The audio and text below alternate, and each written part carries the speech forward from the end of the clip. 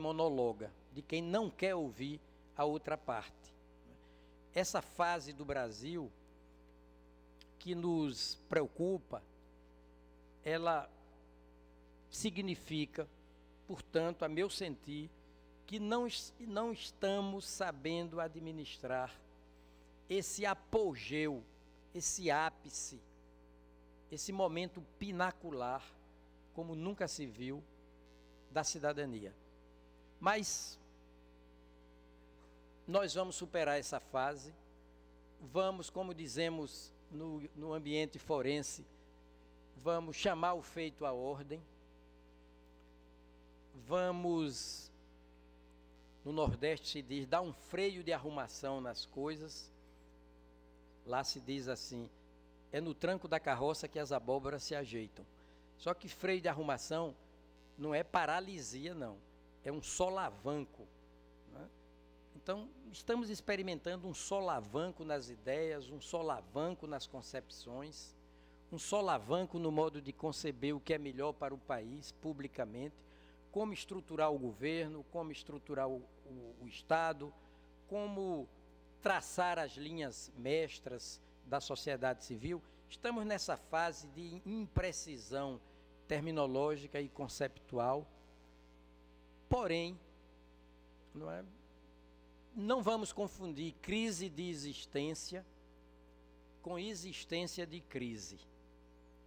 Crise de existência é algo episódico, tópico, pontual, temporário, ao passo que existência de crise é algo permanente e no mundo do direito, quando isso acontece, a única saída é convocar uma nova Assembleia Constituinte e substituir a Constituição vigente por outra. Mas não é o caso do Brasil. Apenas essa Constituição, novidadeira que é, transformadora que é, tem apenas 28 anos e ainda não pegou de vez. É como a democracia. A democracia não pega no ar ela pega meio no tranco. É um processo, é algo gradativo. A democracia não vence por nocaute, vence por acumulação de pontos. Mas nós estamos fazendo uma viagem democrática e, portanto, de qualidade, sem volta. E eu concluo, de fato, dizendo que, a meu juízo, há muito mais motivos para alento do que para desalento, a despeito da minha fala introdutória, do meu estupor, é? indignação, até com o fato de certos estados e municípios não honrarem é, sequer as folhas mensais de pagamento. Mas há motivo para alento, porque por mérito da democracia, em que todos podem discutir tudo, quem quer que seja numa democracia pode dizer o que quer que seja, ao lado de quem quer que seja, onde quer que seja, quando quer que seja, e por efeito desse mérito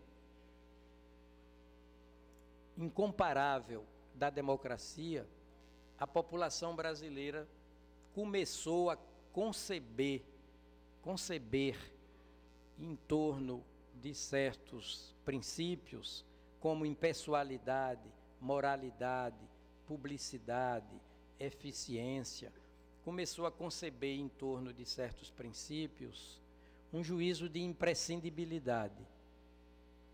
Finalmente, nós estamos entendendo que aqueles princípios, por exemplo, do artigo 37 da Constituição, legalidade, moralidade, impessoalidade, publicidade, eficiência, eles são intrinsecamente valiosos porque beneficiam, favorecem cada um de nós e a coletividade por inteiro. Esse juízo de imprescindibilidade em torno desses princípios já é uma realidade no Brasil e mais ainda esses valores, assim concebidos como absolutamente necessários e imprescindíveis, hão de ser concretizados não por Beltrano, Cicrano, não por chefe do partido X, chefe do partido Y, não por, por fulano de tal, por a liderança, uma liderança, uma chefia nominalmente identificada, absolutamente. Esses valores começam a ser concretizados pelas instituições, pela via das instituições, porque fora das instituições não há salvação. Só no âmbito das instituições é que podemos nos relacionar impessoalmente e, portanto, com sustentabilidade.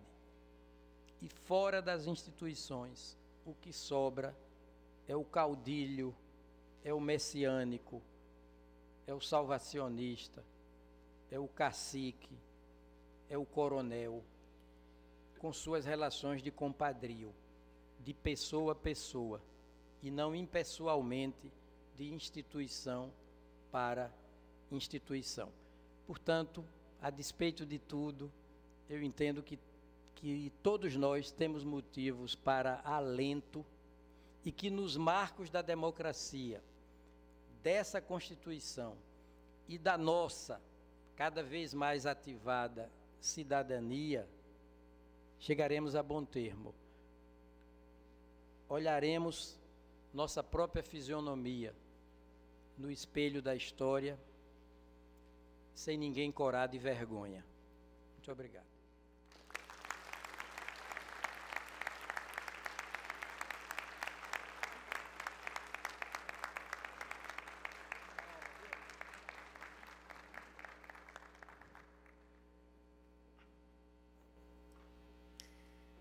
Com a o excelentíssimo senhor desembargador Luiz Fernando Ribeiro de Carvalho, presidente do Tribunal de Justiça do Estado do Rio de Janeiro.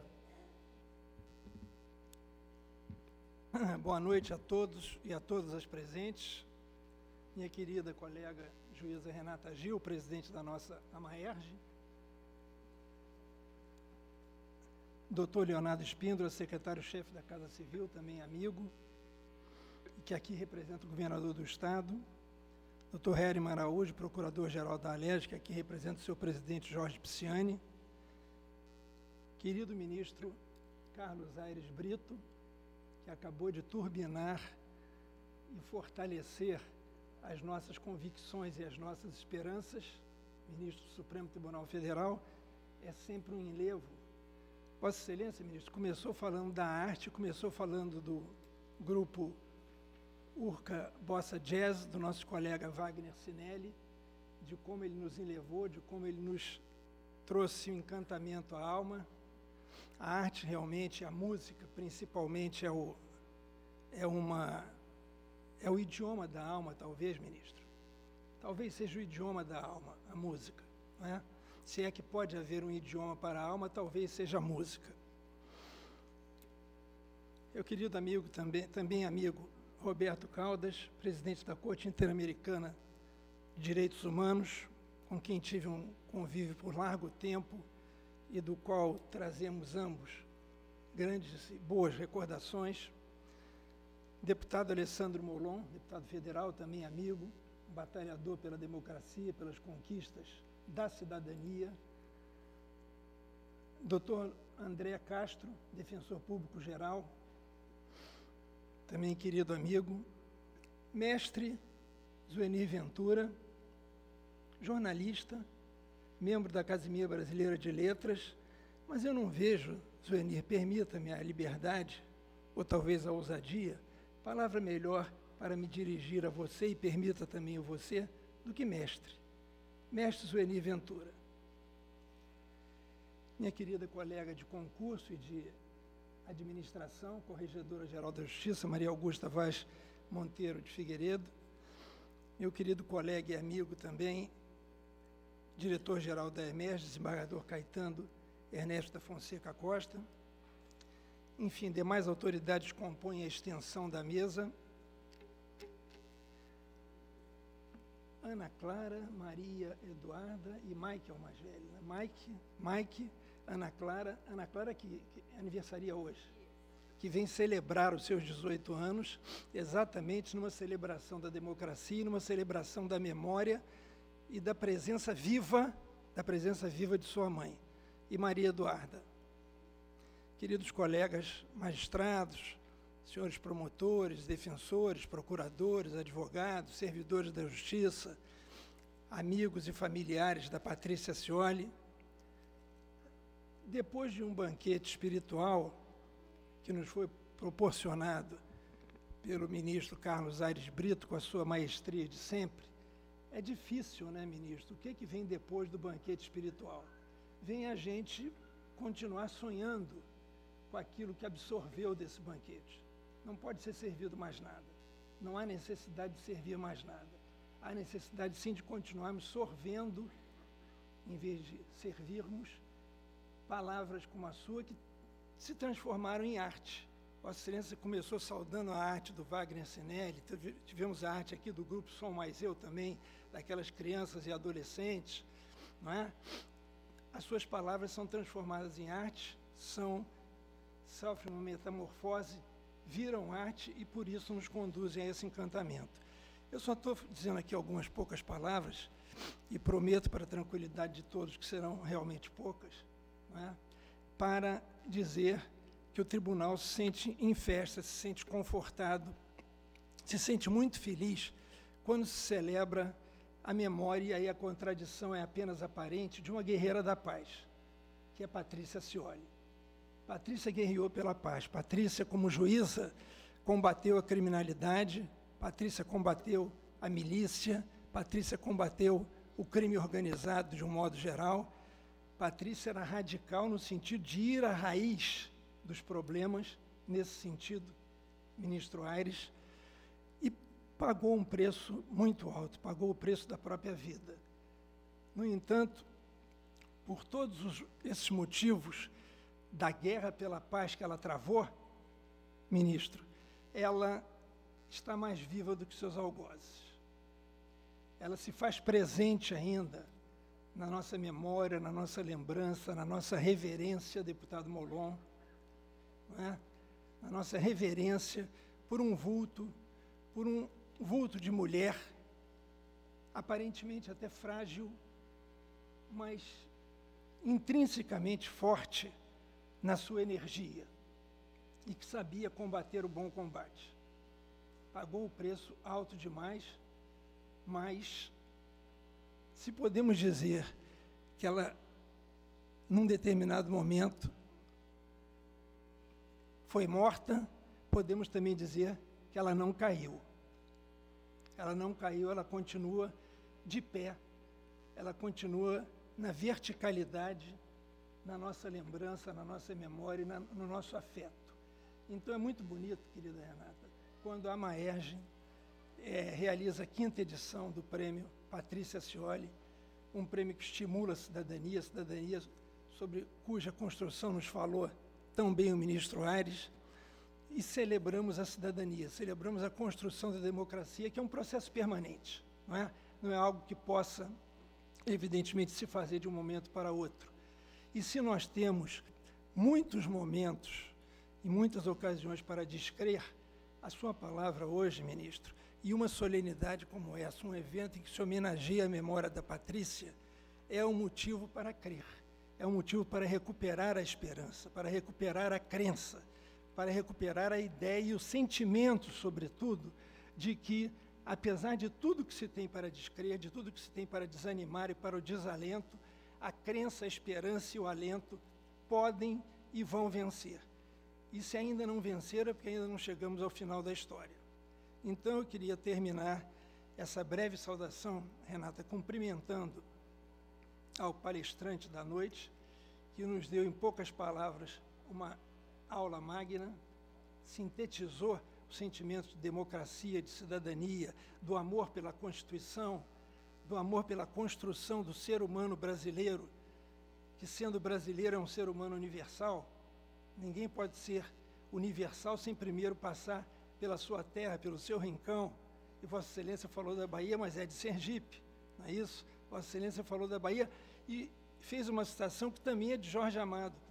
Jorge Amado num dos seus livros, ele fala da eleição como festa do povo, com todos os desvios, com todos os problemas que uma eleição traz, todas as, talvez, maracutaias que surgem nas eleições. Jorge Amado dizia o que Vossa Excelência disse aqui. A eleição é uma festa do povo, é uma celebração do povo, e assim deve ser sentida. Não é isso, Márcia? Querida Márcia Sutti, diretora de Direitos Humanos e Proteção Integral da nossa Maerge e organizadora deste evento, desta, deste quinto prêmio Patrícia Cioli. Eu termino então, Renata, dizendo que é uma ocasião festiva quando a gente se reúne para celebrar Patrícia Cioli. Que ela seja sempre lembrada, e sendo lembrada pela Maerge, ela promove um casamento ou uma união mais do que estável, uma união talvez eterna, entre o povo, a nação e a ideia de justiça. Ela representa mais do que a magistratura. Patrícia consegue representar uma ideia e um sentimento de justiça. E para representar isso que Patrícia foi para nós, mais do que isso, aquilo que Patrícia é para nós, e mais ainda, aquilo que Patrícia sempre será para nós, o valor universal que ela sempre representará para nós, eu termino com uma, um pequeno poema de Frederick Schiller, em homenagem também ao nosso palestrante Aires Brito, que fez algumas citações verdadeiramente artísticas, quando Schiller fala da esperança. A esperança sobre a qual Vossa Excelência falou, a esperança que nos anima a estarmos hoje aqui reunidos, Caetano, Zoeni, Roberto, Herman, Renata, Leonardo, ministro Aires, Alessandro Molon, Maria Augusta, André Castro, Márcia Sutti. E todos os que estamos aqui reunidos.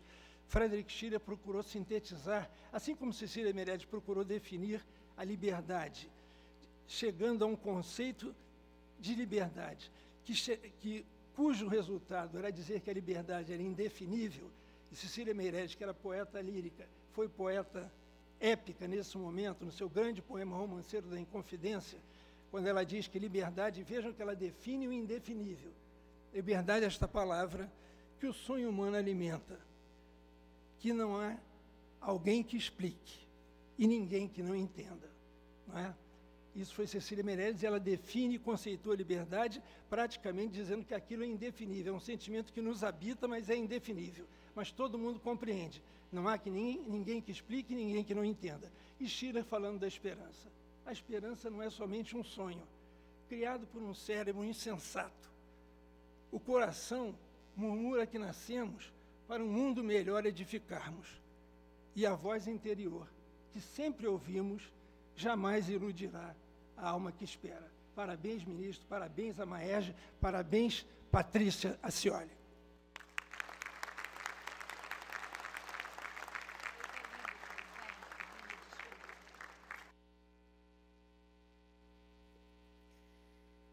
Iniciaremos agora a entrega dos prêmios aos grandes vencedores desta noite, que saberão somente neste momento o resultado a que chegou a comissão julgadora. Convidamos o excelentíssimo senhor desembargador Luiz Fernando Ribeiro de Carvalho para premiar os vencedores da categoria Trabalhos Acadêmicos.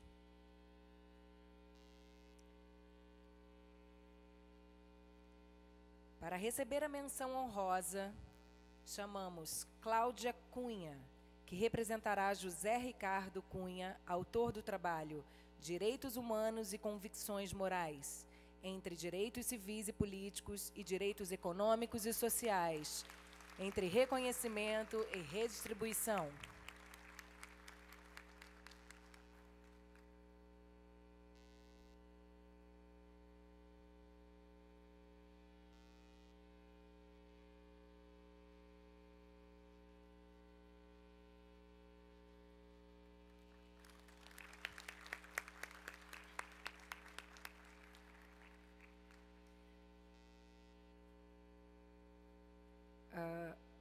Por favor, senhor desembargador Luiz Fernando. Precisamos do senhor. A segunda menção honrosa será entregue para Raquel Gouveia Passos, autora do trabalho Controle Médico e Controle Penal, violação de direitos humanos de mulheres em sofrimento mental autoras de delito.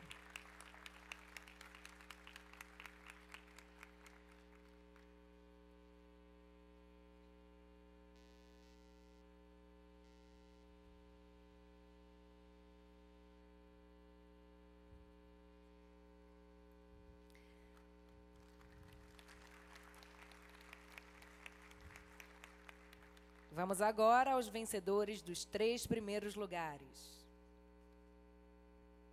Para receber o prêmio de terceiro lugar, no valor de cinco mil reais, convidamos André Ribeiro Leite, autor do trabalho Análise Constitucional do Mandado de Busca e Apreensão Genérico no Processo Penal.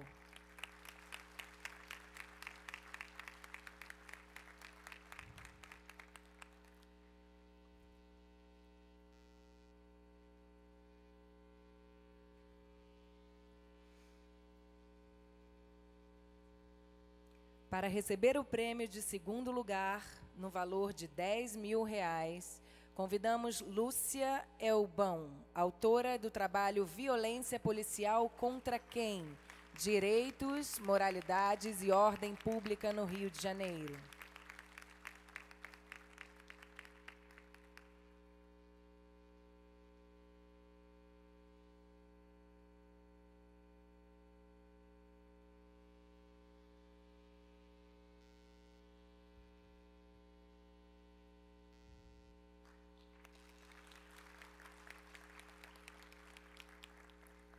E a grande vencedora, que receberá o prêmio de 15 mil reais, Andréia Maier Landulfo Medrado, autora do trabalho Queremos Manter a Juventude Viva, a criação de um aplicativo contra a violência policial.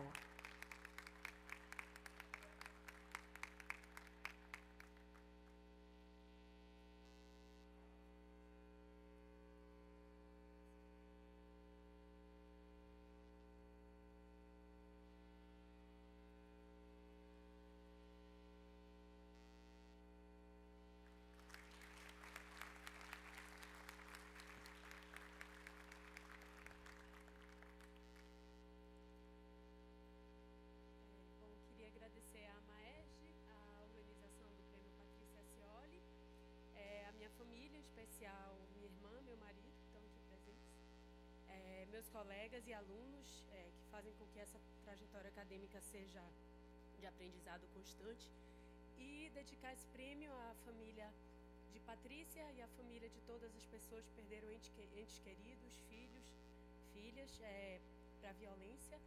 E eh, como o título do trabalho da gente dizia, a juventude quer viver. Obrigada.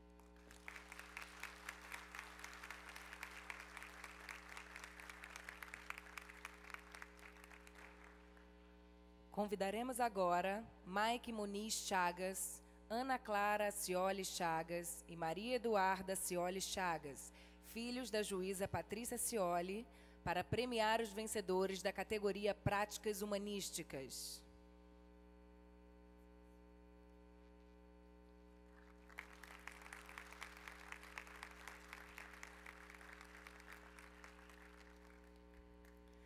Para receber a menção honrosa, convidamos Val Ferrão, que apresentou o trabalho Mães do Brasil.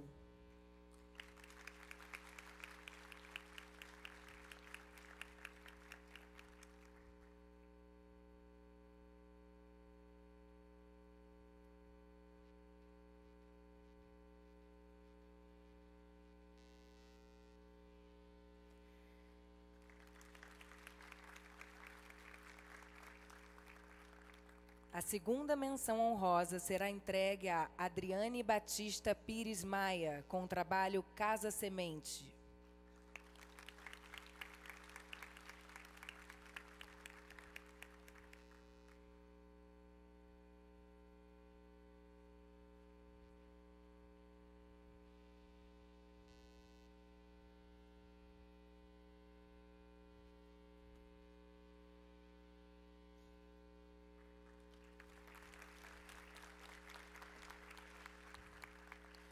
Vamos agora aos vencedores dos três primeiros colocados do Prêmio Amaerge Patrícia Cioli na categoria Práticas Humanísticas.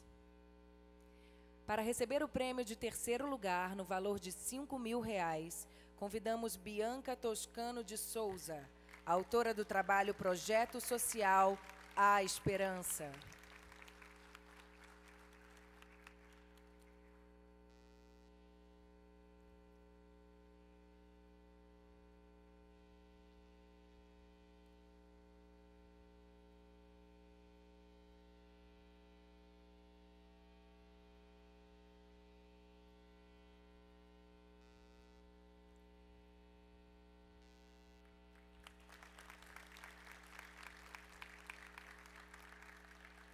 Em segundo lugar, para receber o prêmio de 10 mil reais, convidamos Luiz Eduardo de Castro Caon, pelo trabalho TV de Gaze.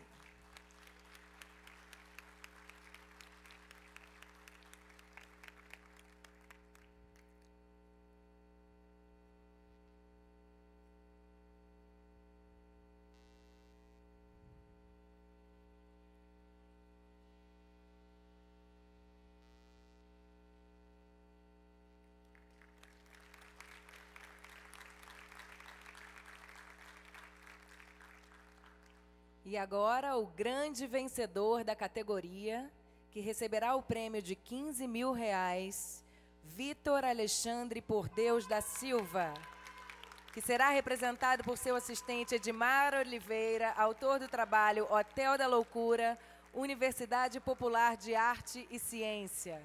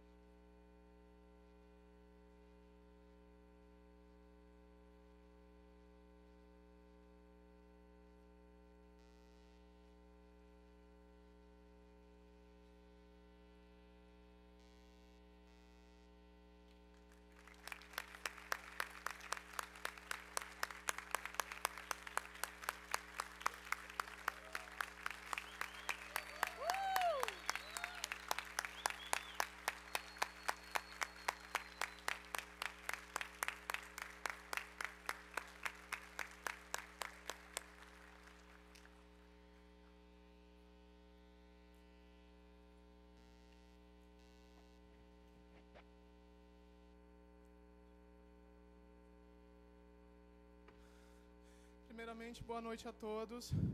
Em nome do nosso idealizador deste projeto, desta causa, que é muito mais do que humanitária, o excelentíssimo senhor Dr. Vitor Por Deus, que se encontra fora do país, em Montreal, realizando esse mesmo trabalho que outrora fez em um lugar em que ninguém quis ir. E tem um nome que ficou conhecido no país inteiro, em louvor e honra a esse grande nome que se chama Nise da Silveira. Ele ousou a fazer este trabalho no bairro do Engenho de Dentro, aonde outrora Nise da Silveira fez e honrou. Honrou a gestão pública como homem público, como gestor. Quando recebeu o convite para criar dentro do aparelhamento público, na Secretaria Municipal de Saúde do Rio de Janeiro, o Núcleo de Cultura, Ciência e Saúde, que de forma caluniosa, de forma desrespeitosa, destituíram ele deste cargo, mas em lugar de honra, ele foi levado a outro continente, a outros lugares para desenvolver esse trabalho. Em nome de nossos colaboradores do Hotel da Loucura, do Teatro Dionísio, eu quero dedicar esse prêmio em nome da dignidade daqueles que lutam pelos direitos humanos, assim como a excelentíssima juíza Patrícia Cioli. Eu quero também dedicar a este prêmio a toda a sociedade brasileira. E primeiro, saúde mental. Buscamos pela saúde mental da sociedade e, acima de tudo, da humanidade, prezando pelo princípio da dignidade humana. Muito obrigado.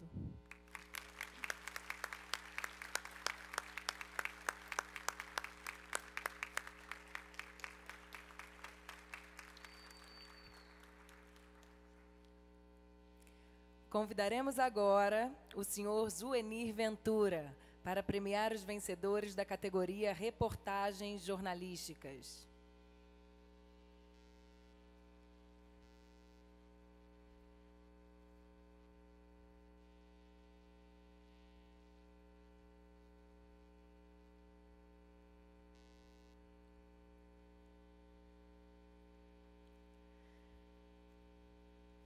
Para receber menção honrosa, convidamos Paula Bianchi, do portal UOL, autora da reportagem Cinco anos após assassinato de juíza, polícia mata quatro vezes mais em São Gonçalo.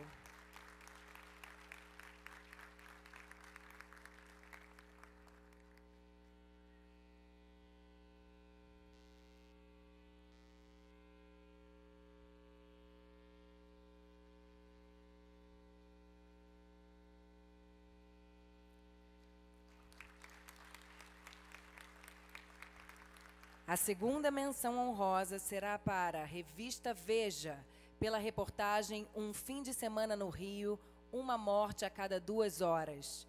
Para os repórteres Leslie Leitão, Cecília Rito, Jana Sampaio, Luísa Bustamante, Maria Clara Vieira, Roberta Trindade, Sérgio Ramalho e Tiago Prado. E para os fotógrafos Antônio Milena, Carlos Moraes, Daniel Ramalho, Egberto Nogueira, Emiliano Capazoli, Marcelo Régua, Marcos Tristão e Reginaldo Teixeira.